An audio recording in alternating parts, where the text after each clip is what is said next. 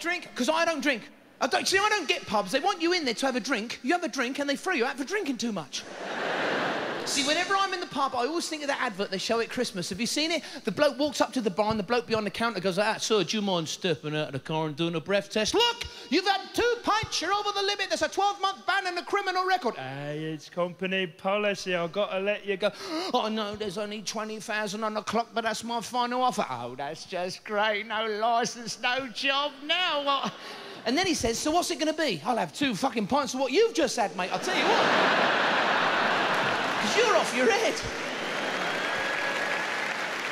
Because that's how you end up when you're pissed, isn't it? You become all these different characters. You'll always see that bloke wandering around the, the car park of the pub on a Friday on his own going, fuck off, you fucking old slag. You I just want a couple of weeks break. But fuck off, Dan. You, you know, he's having his own AA meeting out there, you know? I'm not an alcoholic. Oh, yes, you are. It's funny, you can only do that when you're really pissed, have a really good time, but at the same time have a really bad time. You're like, Then you've got the lads' night out. You'll always have a bunch of blokes at the bar going down in one, down in one, down. Because whenever Pissheads sing, it's always that same tune. Down in one, down in one. And whatever they're going to do next, I'm going to the bog. He's going to the bog, go to the bog, go to the bog. I'm going up the bar. He's going to the bog, go to the bog, go to the bog. I'm going home. He's going home, going home. I'd like to see that bloke Gareth Malone from the series The Choir take on a bunch of pissheads, wouldn't you? OK, let's try Yesterday by Paul McCartney. After three. One, two, three. Yesterday. Yesterday, yesterday. Have you noticed pissheads always want to sing about how you're getting home? Have you noticed that? You're going home in the fucking ambulance. it's all right if you're an ambulance driver, you know. You're going home in a fucking ambulance. I am actually. How the fuck do you know? Is that your psychic or something? It's always the same with pissheads. It's great all that singing about how you're going to get home, but they never offer any helpful travel options home, do they? You're going to catch a 903 to the station, then get on the mainline express service to Doncaster unless there's major engineering works, in which case you're advised to change to a road placement bus service.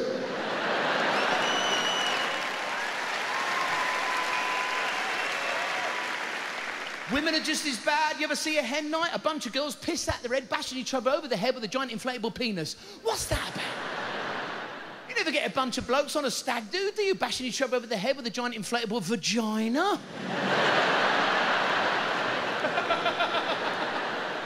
You know, I, lo I, love the fancy dress hen night. You'll always get that girl turn up at the pub dressed as Wonder Woman going, Wonder Woman.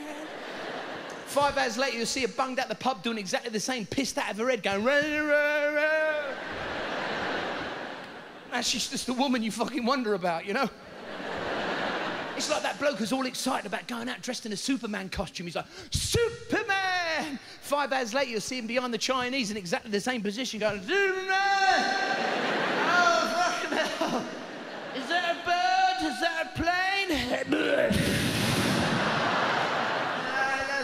Fucking carrots. See, whenever I see a bunch of girls out on a hen night, I always worry about the bride to be wearing a veil and L plates. Is she really that innocent? All that bashing over the head with a giant inflatable penis makes you wonder if she's not seen a real one before, she's going to be in for a massive disappointment. and point number two, if she thinks that's how it's done, the groom's going to be in for a bit of a shock, isn't he? Go on, hit me over the head with it. You sure, love? Go on, fucking hit me over the head. it's fantastic, isn't it? Not for me, love, it ain't. I just got a sore soldier. I got a sore soldier here. Doesn't matter whether it's a stag do or a hen night. When drinks involved, you always end up doing something you regret the next day. Some pisshead gets in, his wife's like that. What do you think you're doing coming home at five in the morning? I've got to be up for work at six. no, you never do anything you're proud of when you're pissed. I mean, Albert Einstein didn't come up with the theory of relativity on a lad's night out. He wasn't standing at the bar going, ah, fuck hell, MC squared, MC squared, MC squared always something you regret, like going to a lap dancing club. You'll always get a bunch of pissed up blokes full of testosterone in a lap dancing club paying to drool over something they can't have.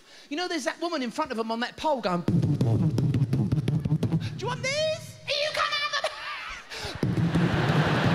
Do you want this? You it? It's a con. Where else could that happen? You'd be really pissed off viewers up Greggs you know, you just pay for that chocolate eclair and the woman behind the counter is like, do you want this? Here you go, have it! Ah.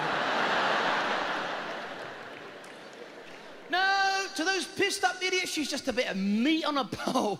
Then later on, they're staggered to the nearest kebab shop and do exactly the same. Stand there holding money, drooling over that kebab, going around on a fucking pole.